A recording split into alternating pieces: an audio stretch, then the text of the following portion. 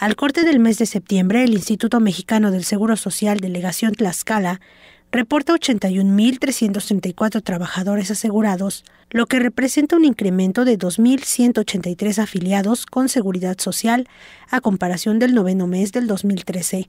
En entrevista, Raquel Lima Juárez, jefa del Departamento de Supervisión y Auditoría a Patrones, señaló que este incremento se atribuye a la respuesta del sector patronal para garantizar a la base trabajadora sus prestaciones médicas.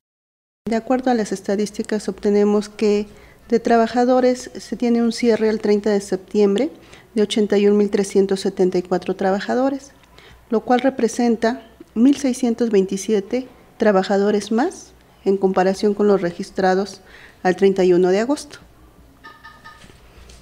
Eh, en este sentido, si vemos un comparativo en relación con septiembre del 2013, pues observamos también de igual manera números positivos, porque al 30 de septiembre del 2013 contábamos con 79.191 trabajadores. ¿Esto qué significa? Que contra septiembre del 2014 se observan 2.183 trabajadores.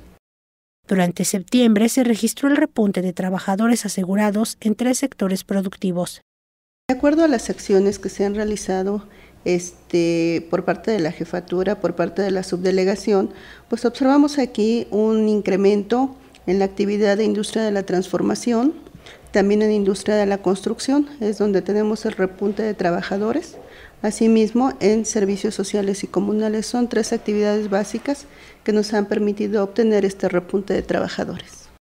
Lima Juárez señaló que se espera un cierre de año positivo, por lo que exhortó a los empresarios de la entidad a afiliar a su planta obrera a fin de ofrecer prestaciones de seguridad social.